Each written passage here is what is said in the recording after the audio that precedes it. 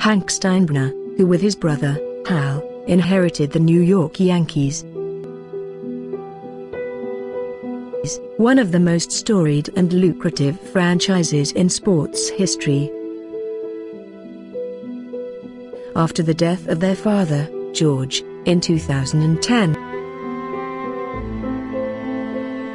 died at his home in Clearwater, Florida he was 63.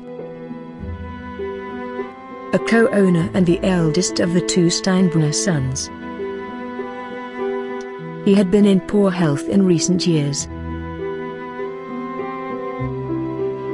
His death was confirmed in a statement from the Yankees.